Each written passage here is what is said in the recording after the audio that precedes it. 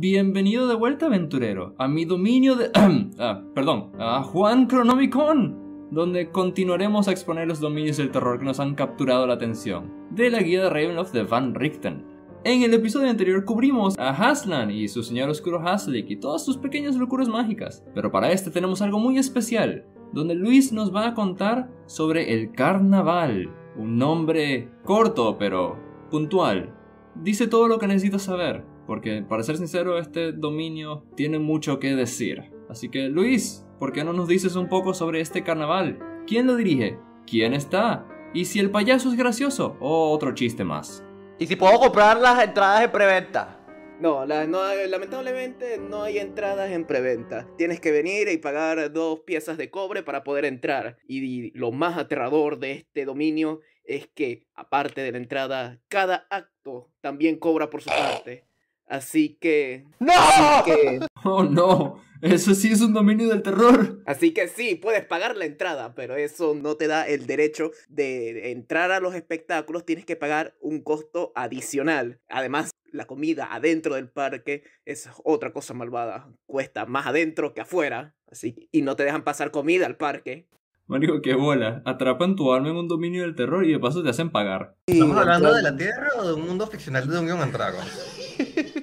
Bueno, pero ya aquí hablando un poco más en serio, el carnaval es un dominio donde caen las cosas más extrañas de entre todos los dominios. Un plano creado por los poderes oscuros para encerrar al más turbio, desagradable y grotesco de los objetos. Porque sí, el señor oscuro de este dominio es un objeto, una espada loca sedienta de justicia ciega. De eso hablaré más tarde. El horror que expresa este dominio es el horror corporal y lo deja bastante en claro cuando te dice y te habla sobre las distintas maneras de entretenerse que hay en este carnaval de cosas locas y grotescas. Desde la entrada hasta la gran cima que queda en el centro del dominio, está todo plagado de actos grotescos, de desagradables. Algo, todo lo que haría que el más valiente devolviera el almuerzo. Entre ellos pudieses encontrar seres deformes,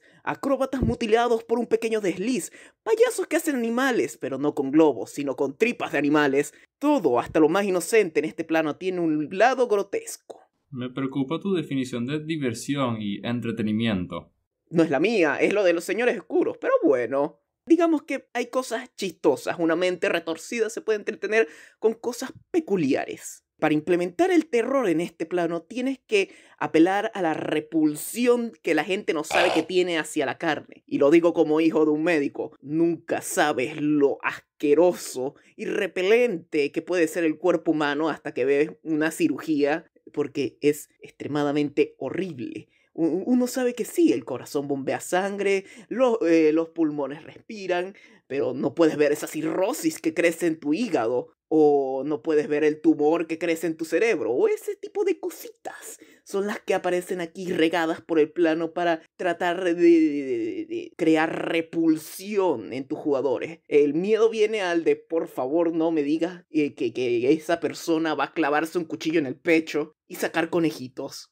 Algunas eh, locaciones especiales de este dominio es el pasillo de los horrores, donde se encuentra el profesor Pacali, que es el que corre la atracción, que nada, eh, como su nombre lo dice, está lleno de cos de animales disecados, taxidermia y ocasionalmente un tumor en un frasco. Estos tumores, estos pequeños humúnculos, crecen en- del cuerpo del profesor, porque fue maldito hace mucho tiempo, y ahora cada vez que tiene un sentimiento negativo o algún deseo oscuro, este deseo se manifiesta en su cuerpo como un humúnculo que crece poco a poco de su cuerpo. Él eh, los llama eh, pequeños profesores pacalis empepinados. Y bueno, de vez en cuando uno de estos homúnculos se escapa y causa desastre. O sea, ¿es idea mía o esto es un plagio meme de padre en Full Metal Alchemist? Sí, pareciera. Un meme de padre, porque literal padre en Full Metal Alchemist es este tipo que agarra y se saca los pecados del cuerpo y crea los homúnculos, pero eh, él los llama como los pecados y este tipo los llama mini-me. No, esto nos llama Pickle Rick. Pico Rick. Es como el doctor malito, pero en vez de cargar solo un mini-me, los mini-me le crecen del cuerpo y salen.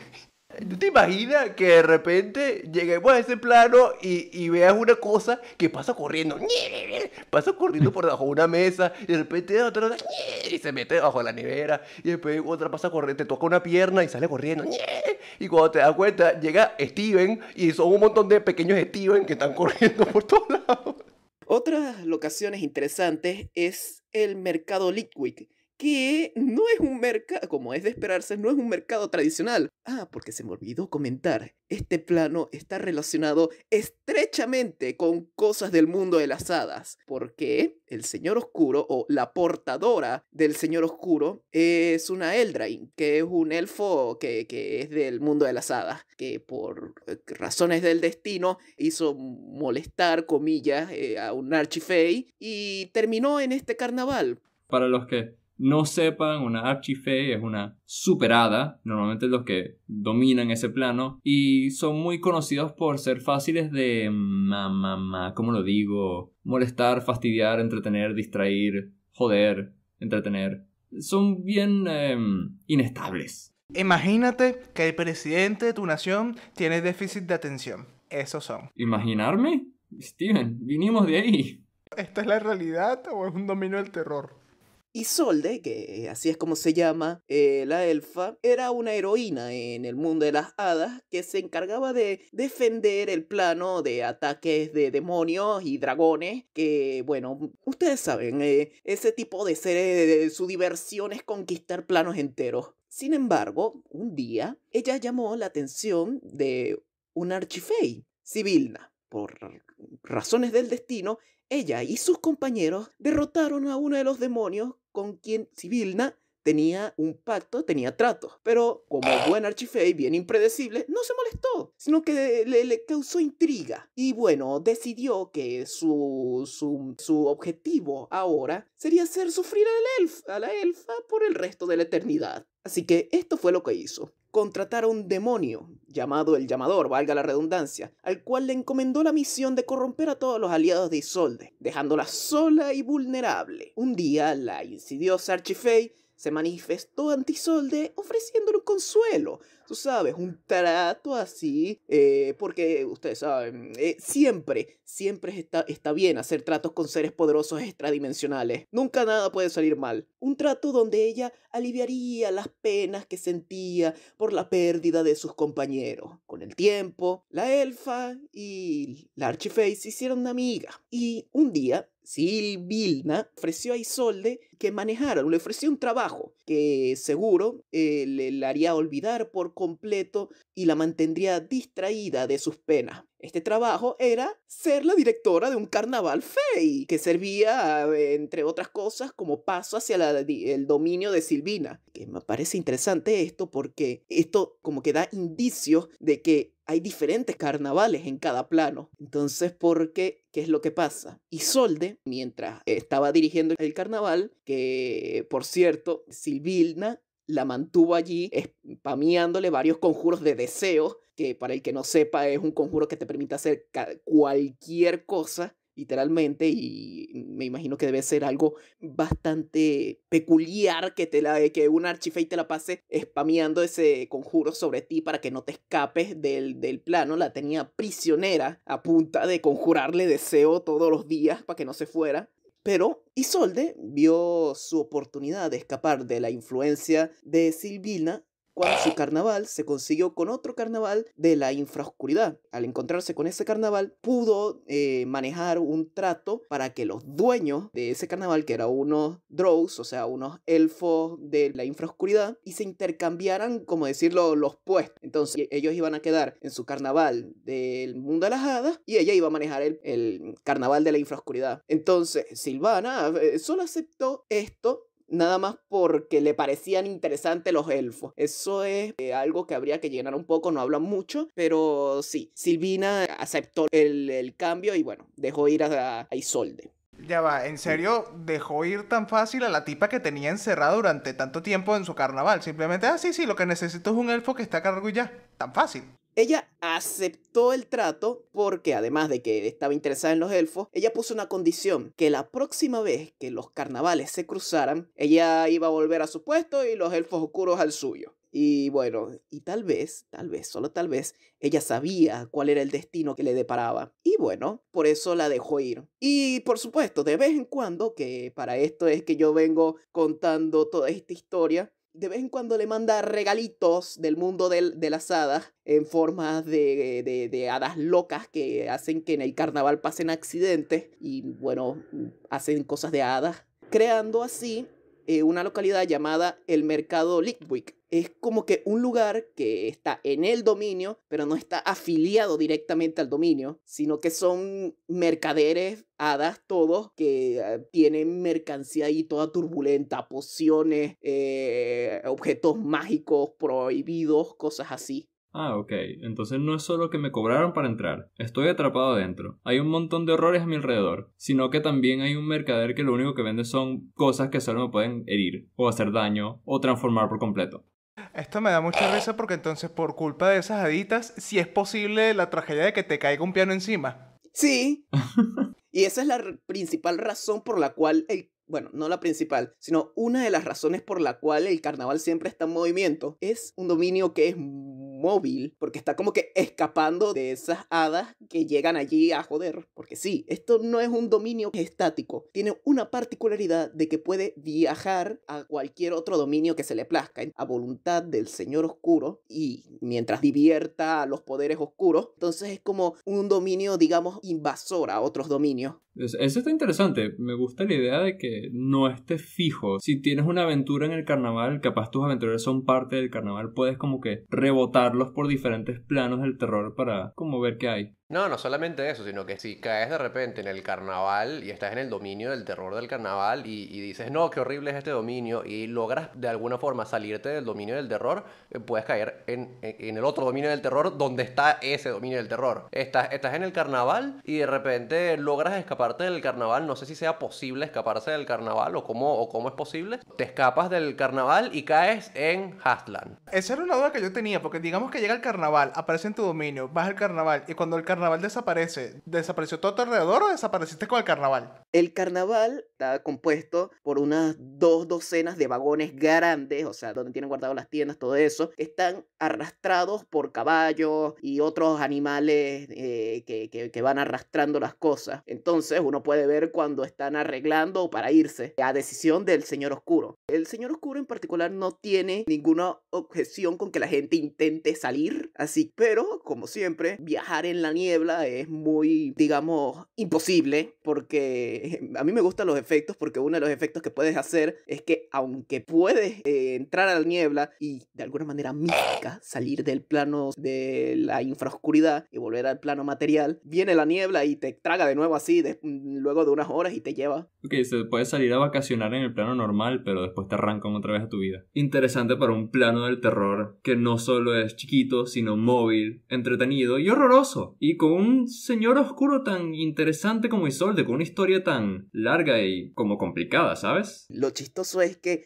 Isolde no es el señor oscuro del plano. ¿Qué? ¿Qué fue lo que pasó? Isolde tenía deseos reprimidos por la magia de Silvina de venganza en contra del demonio. Y cuando intercambió de puestos con los otros dueños del carnaval, se encontró con una espada. Esta espada era la espada Nepente, la espada sagrada vengadora, que fue creada por los elfos oscuros antiguos para, co- como arma de ejecución a los criminales, ya sean culpables o no. Entonces, esta espada es una espada inteligente, más tres, la espada que no quieres que tenga tu bárbaro. Y además, piensa, Lo que tampoco quieres que haga tu bárbaro.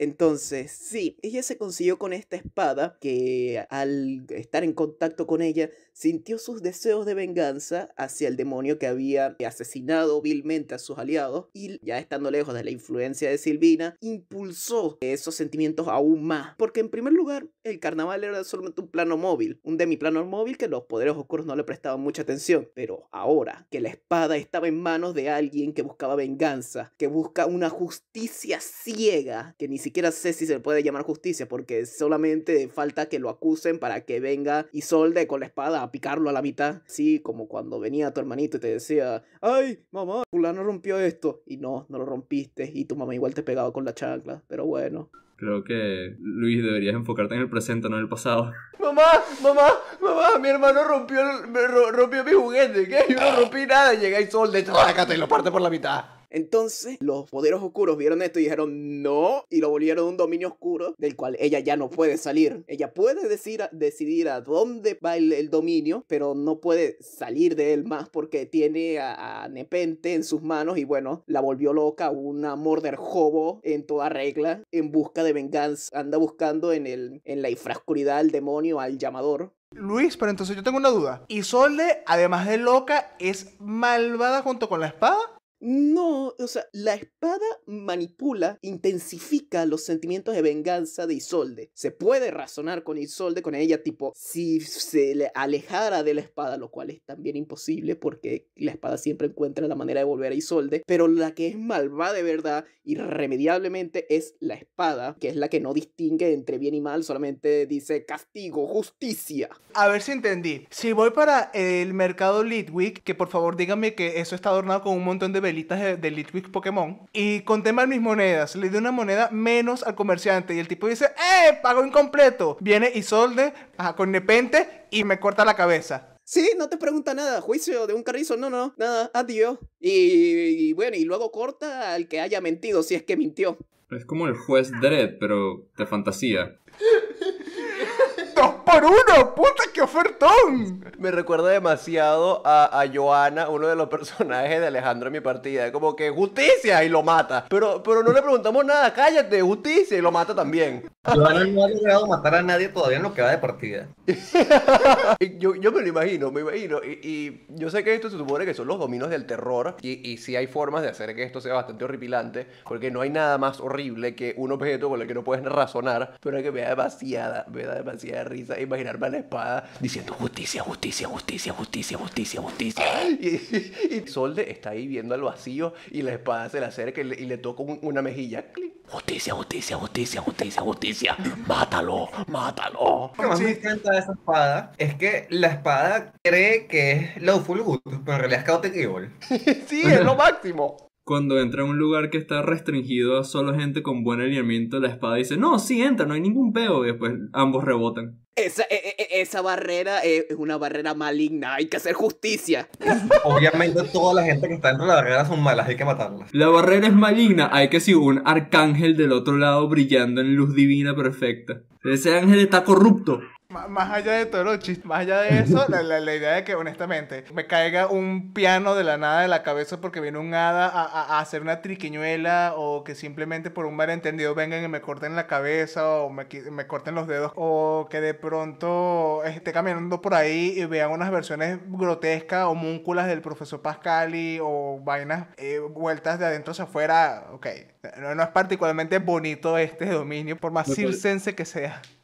Me parece muy interesante que eh, lo como fuera de estándar que es este dominio del terror, porque es más pequeño, es, es móvil, es intercambiable porque al parecer hay otros que es un concepto horripilante y el Señor Oscuro no es el centro de atención de este plano, sino que es como que una consecuencia adicional a una loca que está por ahí toda traumada. Y el señor oscuro es, un- es producto de una simbiosis. Y a mí me gustaría eh, también añadir que Isolde vea a los que llevan el carnaval como una familia, pues, porque desde que Silvina la metió en su carnaval de las hadas, fue donde por primera vez, después de que perdió a sus aliados, sintió algún tipo de confort, de consuelo, haciendo lo que ella hacía, pues. Pero bueno, luego entró en contacto con la espada y muerte, justicia. Pero igual, todavía ve a sus compañeros como familia que debe proteger.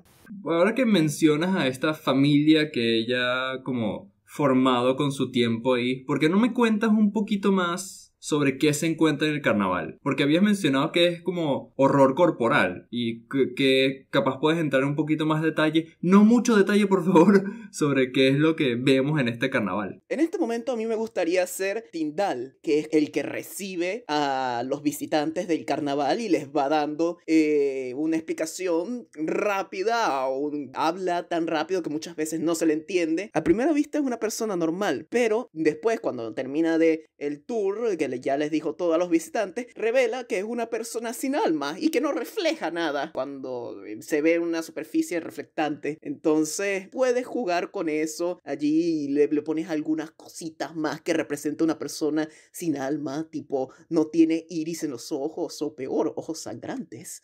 También puedes conseguir a Alti, el hombre liebre. Uno pensaría que un hombre liebre es algo bonito, como en el mundo de las hadas, pero no. En la infraoscuridad las cosas no son lo que deberían ser, y mucho menos en este dominio. Ustedes han visto una liebre sin pelo, son horribles, parecen ratas. Se puedes ver las arterias eh, po- por su piel Oh no, imagínate con, con las luces esas fuertes que ellos usan en los circos, va a volverse transparente. Sí, y entonces puedes ver cómo sus órganos internos se mueven. Otras personalidades que puedes conseguir aquí en el carnaval es el tocador de órganos, que es un payaso que no habla, pero en su acto, No habla, pero te toca todos los órganos.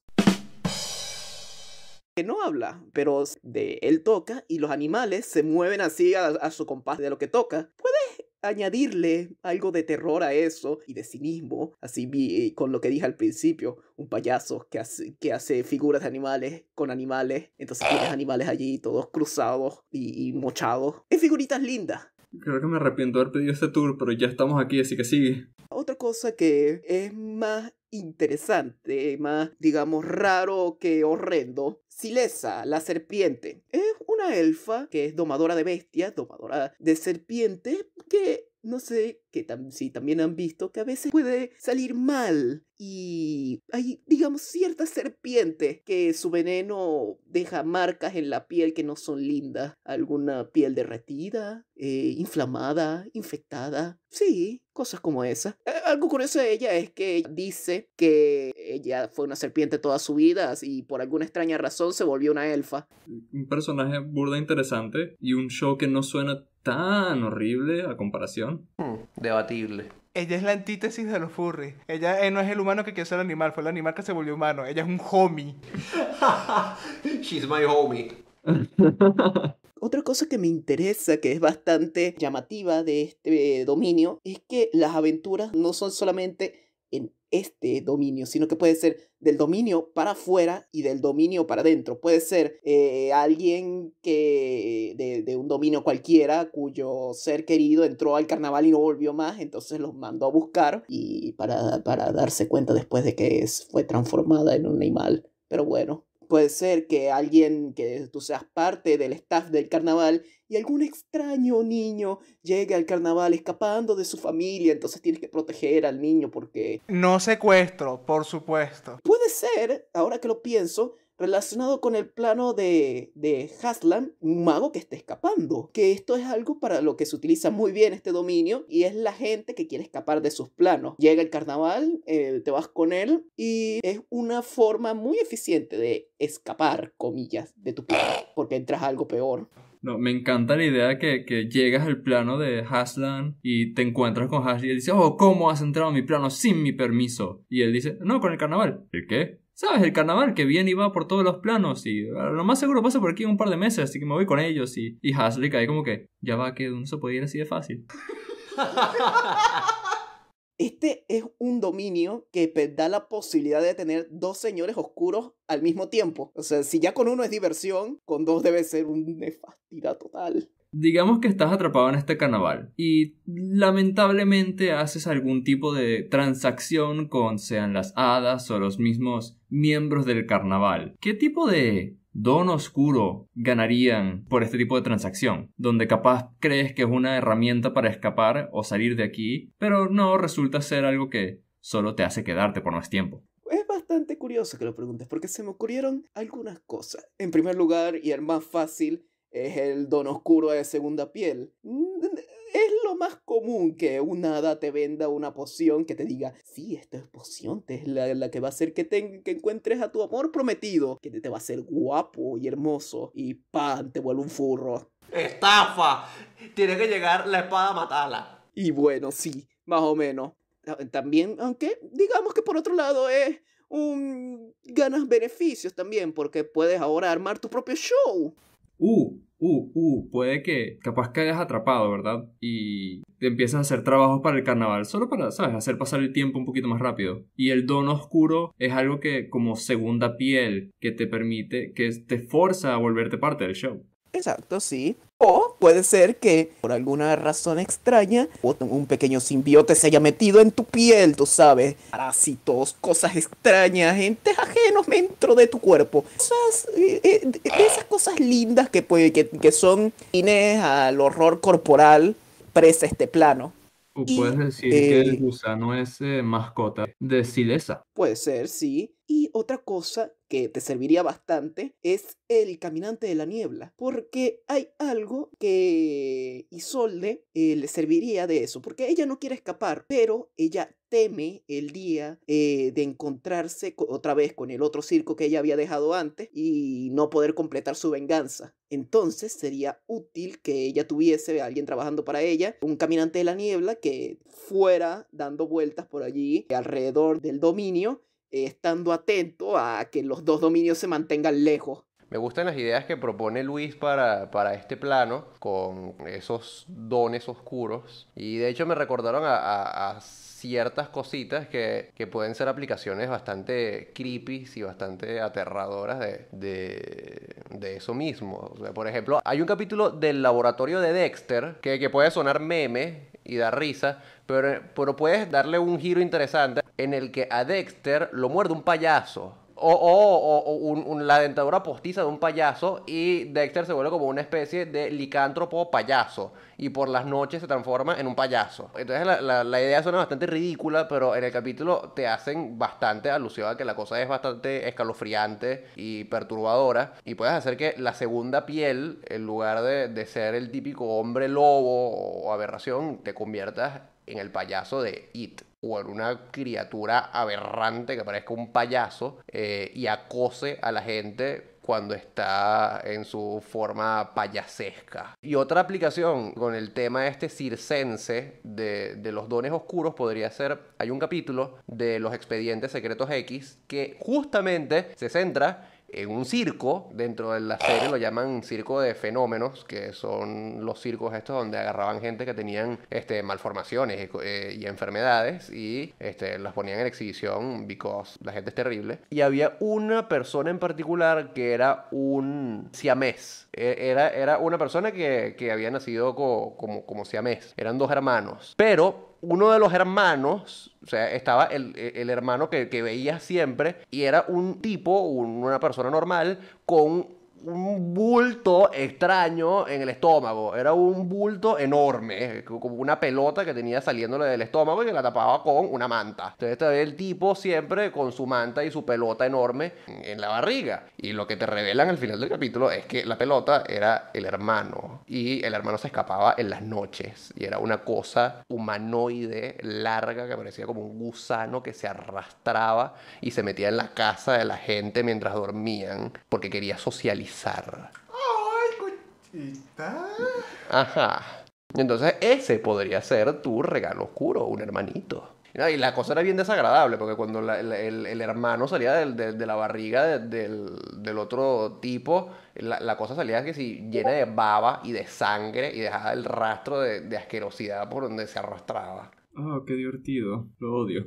Ah, Si quieren horror corporal, inspiración de horror corporal, deberían ver los expedientes secretos X. Hay muchos capítulos que apelan a eso. Sí, yo me acuerdo de un par, lamentablemente. Si vamos a hablar de horror corporal, tengo que mencionar a Junji Ito, que es escritor de manga. Nunca le han hecho un anime decente, desafortunadamente, pero sus mangas son, marico, demasiado icónicos en lo que es horror corporal. Especialmente Spiral es muy, muy bueno.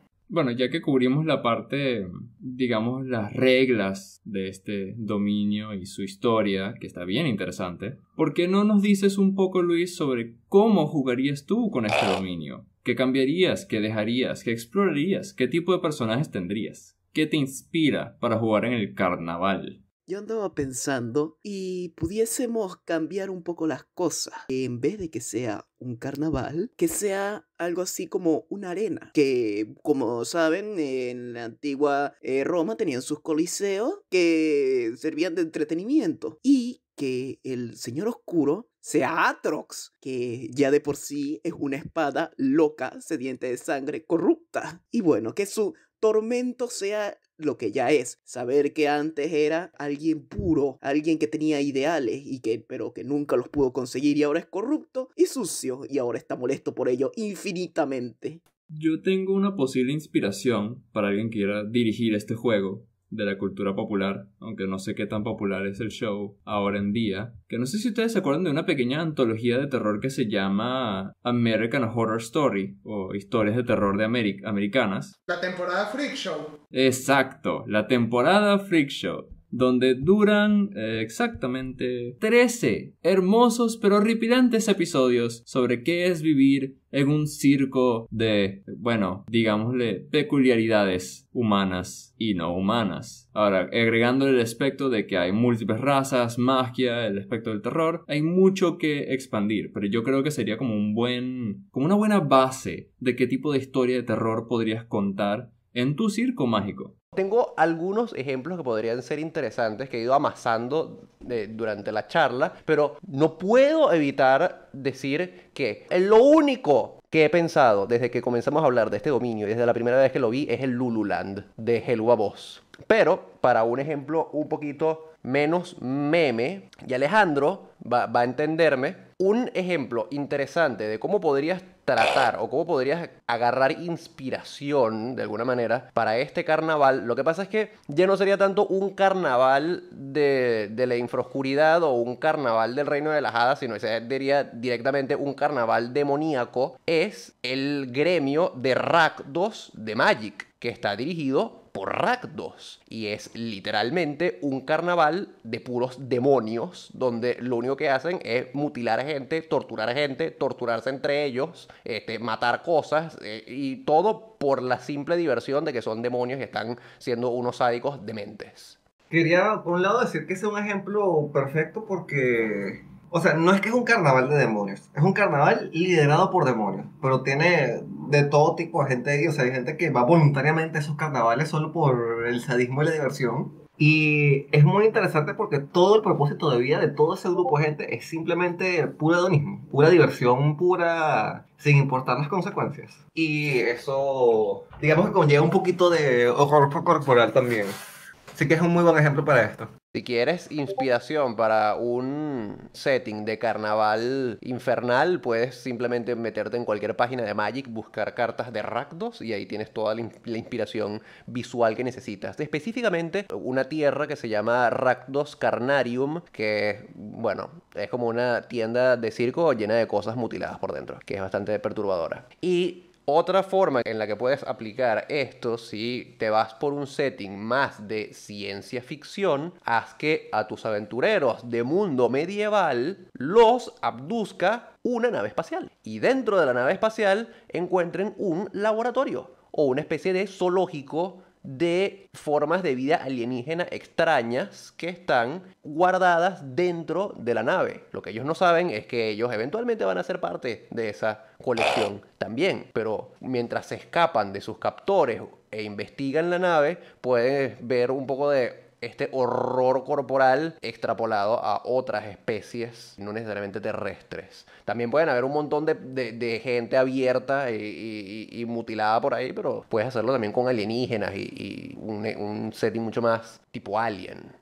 Qué curioso que mencionas lo de colección, porque justamente la manera en la que yo aplicaría este carnaval grotesco en mis mundos, lo haría más de que el dueño del carnaval, no necesariamente Sole, sino el que tú veas apto para tu eh, circo del terror, te manda a donde llegan a buscar nuevas atracciones. Porque si bien puede pasar cosas muy locas dentro del carnaval, terminan siendo más, eh, por así decirlo, tareas domésticas o tareas laborales. Y dentro de un dominio tan pequeño no hay tanto que hacer más allá de, oh, bueno, uno de los homúnculos del profesor Pacali terminó siendo más grande de lo que esperábamos. Uy. Entonces lo, lo interesante que sería que en lugar de gente que voluntariamente viene para escapar del dominio, es busquen gente que sea interesante que sea fuerte para que sean atracción. A fin de cuentas, esto es un negocio, necesitamos clientes. De hecho, es bien interesante eso de que, de que tú seas parte del, del, del circo y tengas que buscarle atracciones nuevas al Señor Oscuro. Me, me gusta bastante. Porque no solamente tienes que limitar, no lo limitaría yo, por lo menos eh, si yo fuese a aplicarlo, no, no lo limitaría simplemente a buscar atracciones, sino también a buscar clientela. Entonces, mientras buscas la clientela, de repente te encuentras algo que podría ser chévere para, para el carnaval y tienes que llevarlo para allá. Lo curioso acerca de esto es que tú, dependiendo de la naturaleza del carnaval, si el carnaval es una cosa maligna, entonces tus jugadores van a tener que ser personajes que son activamente malos. Una parte importante del carnaval es el trabajo que ellos tienen. Y una partida que puedes tener es que sea una parte de todos miembros del carnaval que estén luchando contra otros, contra otros actos para eh, actuar en la gran cima, que es como que el centro, el anfiteatro central de todo el dominio, donde se muestra lo, la crema de la crema así y donde se cobra más, por supuesto. Entonces la party tendrá que sacar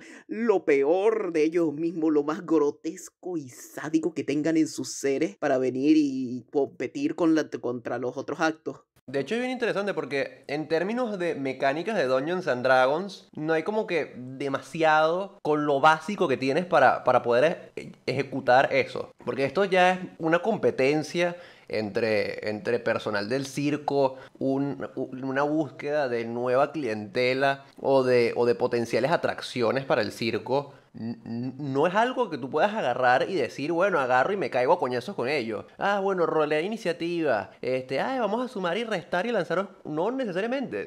Tienes que pensar, tienes que pensar cómo vas a ganarle a la otra gente, cómo vas a convencer a, esta- a estas personas de que vayan a ver tus picadoras de carne maquilladas y con pelucas y capturar de cierta forma o atraer a, a- a gente a que se una a- a tu zoológico de pesadilla. Entonces hay mucho de interacciones sociales, hay quizás de repente bastante de, de pruebas de habilidad. Tienes que buscar, rebuscarte la forma de que los hechizos, los conjuros funcionen de la forma en la que tú quieres que funcionen. De repente quieres utilizar eh, dormir para eh, secuestrar a la gente, supongo, que turbio. O podrías decirle al máster que te permita desarrollar tu propia versión de moldear, moldear roca para que sea moldear carne. Y uno de los, de los desafíos de la partida sea tú encontrar la forma de convertir moldear roca en moldear carne. Y ahí haces todo tipo de barbaridades y cosas espantosas a gente, porque eh, el conjuro Moldear roca tiene como objetivo algo distinto, una cosa eh, en particular, una, una piedra. Tendrías que cambiar de una piedra a una persona y luego hacer que en vez de piedra cambie a carne. Entonces vas a tener que hacer pruebas. Vas a tener que encontrar en quién hacer esas pruebas. Entonces me parece una forma bastante retorcida y loca de jugar, pero, pero que, que alimenta la imaginación de las personas. Te, te, te obliga a salir de- del esquema, eh, a mi opinión, aburrido de D&D de eh, coñazo y coñazo y coñazo y coñazo y sumar y restar. Algo interesante que tú estás mencionando, que va para dejarlo claro, es nosotros solemos pensar en cómo introducir el terror a los jugadores, pero lo que está diciendo Víctor es interesante porque es cómo hacer que los jugadores sean el elemento de terror en el mundo. Entonces es un, es un valor agregado porque es poner, no simplemente impactar a los jugadores con lo que le puedes presentar, sino jugadores, piensen de manera creativa, ¿qué pueden hacer para aportar aquí? Asústenme, los reto. Yo, yo no retaría a mis jugadores a hacer eso. Yo sé que pueden. Nu- nunca retes porque siempre pueden. También hay que añadir que mientras tú estás haciendo todo esto, hay hadas queriendo joder todo el circo. Entonces vas a tener que buscarte la manera de que las hadas no te jodan a ti. Me acaba de destacar este, nuevamente con mi eterna vendetta contra. No, no, no, contra los Rangers no. Yo defiendo a los Rangers. Yo defiendo a los Rangers y ya van a ver, ya van a ver cuando hable de mi dominio oscuro. Un ranger, maestro de las bestias, sería útil aquí. Por ver un un dominio en el que es útil, imagínate. ¿Viste? Vi- ¡Ey! Te jodieron. Tu, tu Ranger, maestro de la bestia, puede tener su propio acto. Donde sí es útil una verdadera extrañidad en este multiverso. Por supuesto, porque un druida con un zorrito de fuego no es más interesante. No, porque, a ver, recuerda, Steven, aquí lo que vende es la depravación. Así que alguien siendo calcinado hasta la muerte pudiese no llamar tanto la atención como alguien siendo devorado muy cruelmente. Es cierto, y eso es el terreno del Ranger Señor de la Bestia. Eso podría ser un ejercicio interesante. Vamos a agarrar una clase de Dungeons and Dragons y le ponemos una raza y como que lo volvemos un acto del carnaval. Eh, no, no, no puedo agarrar al, al explorador Señor de las Bestias como domador de, de animales porque eso ya lo dijimos entre todos. Pero, ¿qué podría ser? El mío es el artífice herrero de batalla y su acto sería llamado la mascota de hierro. Yo no sé si ustedes conocen la tortura de la dama de hierro. Ok, bueno, eso es la mascota de este tipo que lo que hace es que le pide a alguien del público que se una a su acto y bueno, le encierran la mascota y lo, obliga al público, al espectador a actuar en su acto y a entretener al resto. Si los demás no se dan cuenta si la persona salió o no del acto, eh, no importa. Podría ser como el viejo eh, el toro de hierro romano. Exactamente eso era una tortura que hacían antes. Metían a alguien dentro de un toro de hierro y lo empezaban a quemar vivo. Y el toro estaba diseñado de tal forma que los gritos de la persona salían como rugidos de un toro. que entretenían a la gente en el banquete donde hacían estas cosas. Porque eso lo hacían en banquetes. Ahí tienen al artífice. De hecho, en la mascota, yo lo que iba a decir es que la mascota no necesariamente tiene que ser un toro de hierro o una, o una doncella de hierro. Podría ser una, una máquina de tortura multifuncional que se convierta según lo que necesite el acto. Podría ser un oso que te abraza y le lanzas calentar metal. Y ahí es que haces tu, tu oso de hierro. Juan, que agarra una clase y hazlo en acto. El monje sería un acróbata. Haría shows aéreos donde te agarraría de la audiencia y te, se- te lanzaría dado y por doquier por todo el techo y las alturas de la carpa. Ah, ¿cómo hacerlo macabro? Te deja caer. ¿Cómo hacerlo macabro? Gravedad. Creo que agarraría un mago. Y agarraría esta serie de hechizos que están en el libro que nadie nunca usa porque son completamente, no inútiles, pero un poquito riesgosos. Todos los hechizos que te permitan invocar demonios. Entonces, la atracción principal sería, viene el mago, invoca un demonio, llama a un voluntario a la audiencia y esa persona tiene que debatir acerca de algún tema con el demonio. Y bueno, el demonio decidirá el, el destino de ese pobre individuo que debata con él digamos, si logra convencer al demonio de algo, el demonio le da un poder o algo, si no, se lleva su alma para el infierno. Esto, esto, esto, esto es como el meme este. Pone- pones una mesita, una mesita cuadrada y, e invocas un demonio detrás de la mesita. Y pones un cartel en la mesita. El socialismo funciona, fight me. No, ¿sabes a quién tienes que invocar para eso? Un inevitable. Los que no saben, un inevitable son del plano del orden, que son robots hiperpoderosos, son esencialmente arcángeles de los, del eh, plano mecánico que existen exclusivamente para mantener contratos en el multiverso. Así que si tú vas a debatir con un ser incambiable, incorrumpible y sumamente violento cuando vas contra él, ese es exactamente el que tienes que traer. Es curioso porque si pierdes el argumento, te mata. Y si ganas el argumento, te mata la rechera. Yo agarraría un druida con el don de segunda piel y tengo diferentes transformaciones para horrorizar a las personas. Y de vez en cuando puedes comértelas. Oye, de hecho podrías hacer como, como, como los payasos que hacen animalitos de globo, pero haces animalitos contigo mismo. Wow, Oh. ok, eso sí es grotesco. Eh, no, no, yo pensaba que la atracción es de esta. de estas atracciones de supervivencia. Escapa del druida. Es una especie de laberinto y tienes que evitar que el druida te atrape. A mí me ha pasado que escapar de un oso, a mí no, bueno, en partida, escapar de un Owlbear es bastante difícil, tipo, eh, eh, eh, son bastante asquerosos los Owlbear, los odio. De hecho, si quieren ahorrarse dinero en, escena- en escenario, simplemente pongan un mago que castee el hechizo este de laberinto, que es una ilusión de un laberinto, y pueden cambiar el escenario para cada evento. En un evento hacen un laberinto que sea todo oscuro y creepy, en otro hacen un laberinto que sea, no sé, un bosque de sangre, y así lo vas cambiando. Primero, te ahorras todo el dinero del escenario, y segundo, siempre sorprendes a la audiencia. Eso sería como una de las atracciones que tienen al lado. Como que, oh, ya viste la carpa grande, ahora ven a nuestro laberinto del terror. Eso es lo que hace mi mago cuando no está invocando demonios para que discutan con la gente. De hecho, puede ser un bardo espiritista, como el del video que sacamos hace un tiempo. También te dejamos el enlace en la descripción. Puede ser un bardo del Colegio de los Espíritus que no sea un acto como tal, sino que sea como esos, eso, esa gente que te lee la fortuna en las ferias, que están por ahí randommente y te leen la fortuna. ¿Sabes que Uno va para estos adivinos a que te digan cuál es tu futuro y, que intenten descifrar cómo, cómo eres por dentro y cuáles son tus chances de que pasen cosas en tu vida. Pero este bardo de los espíritus, de alguna forma mística que no se refleja en las reglas, te averigua la vida, te averigua el futuro y ve si eres o no material apto para el circo. Con el mazo de taroca. Es un show que termina en reclutamiento, muy, muy eficiente. Exacto, es, es- es básicamente el reclutador incógnito del circo. Ah, mira, te salió el arlequín en la baraja. Ay, ¿qué significa eso? Ah, vas a comprarte un lindo bolso mañana. Y de repente ma- eh, al día siguiente por la mañana aparece amarrado en una tienda, colgado con- con un gancho de las manos.